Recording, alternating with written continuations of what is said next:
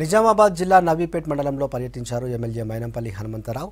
జన్యపల్లిలో సొంత నిధులతో శివాలయం అభివృద్ధి పనుల్ని ప్రారంభించారు. ఆలయ ప్రహారీ గోడతో పాటు కొత్త షెడ్ల నిర్మాణం చేపడుతున్నట్లు చెప్పారు. గ్రామంలో సీసీ కెమెరాలను ఏర్పాటు చేస్తామన్నారు.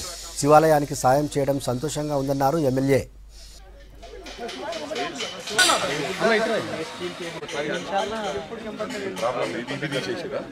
అది ఇప్పుడు ఇదంతా క్లీన్ చేసి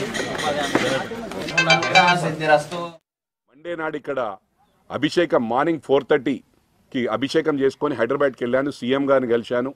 సీఎం గారు బ్రహ్మాండంగా రిసీవ్ చేసుకున్నారు. కీసర్గుట్ట టెంపుల్ రాముడు ఏదైతే స్థాపించిండో సేమ్ అదే విధంగా అవే మెజర్మెంట్స్ అవే స్టోన్స్ మీరు ఇక్కడ చూడండి అక్కడ చూడండి. ఇక్కడ ఒకటి ఏంటంటే కూర్చోడానికి ఇచ్చారు కదా అది ఒకటే ఎక్స్ట్రా ఉంది.